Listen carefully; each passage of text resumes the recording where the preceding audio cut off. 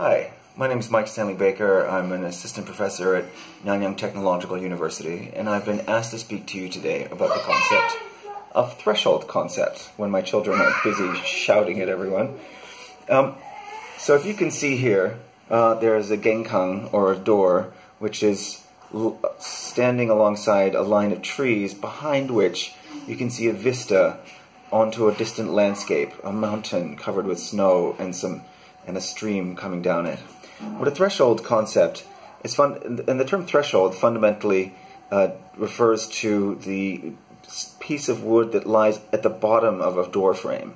So it's, that's some, it's something which you need to step over in order to pass through the doorway. and we're going to take that image and use that metaphor to think about how these threshold concepts structure our entry into new domains of knowledge. So looking at this image here, um, you can see that walking through the gateway is immediately transformative. It brings you into a new domain of knowledge. It transforms you, the knower, into someone who has a view onto an entirely different vista. Um, also, this view is irreversible. You can see on the top is this the left, the right? On the top right side of the picture, these uh, these initials. So I'm going through the first one is the transformative, and the second one is it's irreversible.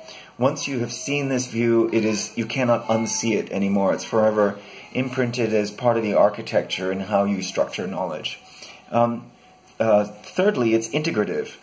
Stepping through this threshold gives you access to a larger view which encompasses and structures how all the other elements of it fit together. You see how the river and this, this snow cap and the shape of the mountain and the trees and what lie beyond them all form together into one unique view. Um, it's also bounded, that's the B, because without this concept you cannot enter into this terrain. You cannot, um, and if you do not have it, you are an outsider, you're not an insider, a, a knower. Um, and so it marks uh, it marks knowers and, and non-knowers. Um, finally, it's a troublesome knowledge. It's difficult to acquire because it shapes and transforms who you are and how you know.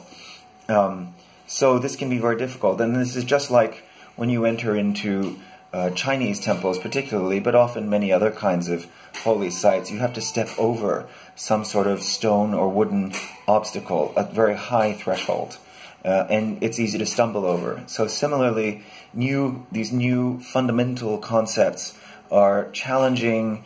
Um, they're transformative. They're difficult. They grab your attention. But once you have stepped over them, you have entry into an entirely new vistas of knowledge. That's my summary of the five characteristics of threshold concepts.